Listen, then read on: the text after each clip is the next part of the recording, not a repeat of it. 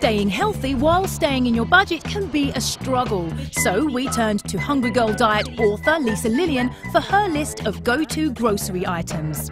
First up, canned pumpkin. Now, I love canned pumpkin because it's low in fat, it's low in calories, it's high in fiber, and you can use it to help you bake and save tons of calories and fat. Warning do not confuse this with canned pumpkin pie filling.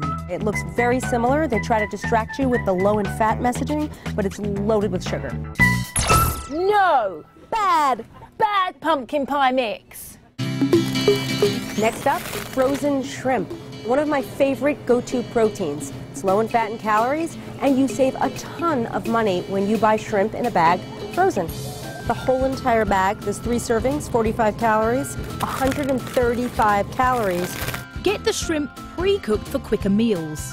My next favorite item, cauliflower. I think it is the produce aisle's best kept secret.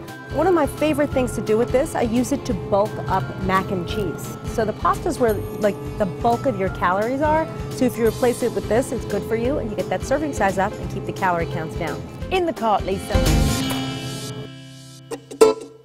My last item, old-fashioned oats. I use it to make my famous growing oatmeal, where you use one serving of these oats and you use twice as much liquid and you cook it for twice as long and they grow and expand. And your portion size will be huge for the same amount of calories. But your waist won't be. The art of the cart, keeping you healthy and wealthy on the Revitalist.